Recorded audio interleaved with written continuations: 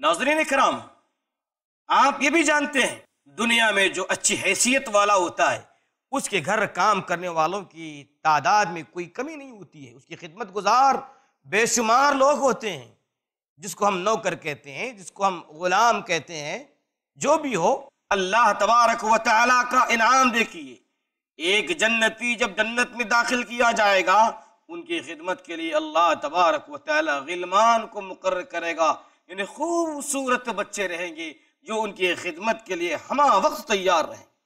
اللہ تبارک و تعالیٰ کا ارشاد ہے۔ وَيَطُوفَ عَلَيْهِمْ وِلْدَانٌ مُخَلَّدُونَ۔ إِذَا رَأَيْتَمْ حَسِبْتَهُمْ لُؤْلُؤًا مَنْثُورًا۔ وَيَطُوفُ عَلَيْهِمْ غِلْمَانٌ لَهُمْ كَأَنَّهُمْ لُؤْلُؤٌ مَكْنُونَ۔ اللہ تبارک و تعالیٰ ان کی خدمت کے لیے ایسے غلمان دے گا، ایسے خوبصورت بچے ان کی خدمت کے لیے ہمیشہ ہر وقت تیار رہیں گے۔ ان کو دیکھنے سے ایسا احساس ہوگا گویا کہ یہ خوبصورت موتیہ ہے جو بکھیر دیے گئے کیا آپ چاہتے ہو ایسے خوبصورت بچے، ایسے ننے عمر والے بچے؟ آپ کی خدمت کے لیے ہمیشہ ہر وقت تیار رہیں۔ یہ جنتی کا انعام ہے۔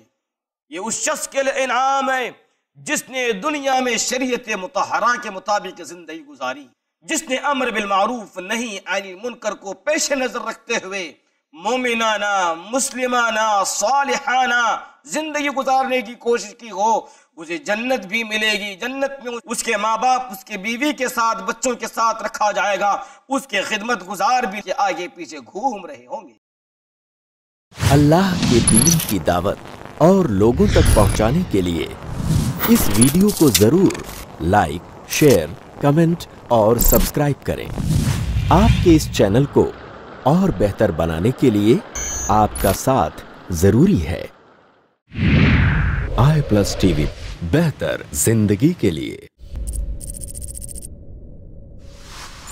اپنے کیبل یا ڈی ٹی ایچ آپریٹر سے آئی پلس ٹی وی آج ہی ڈیمانڈ کریں۔ I plus T V free to air اور انڈین رجسٹرڈ چینل ہے۔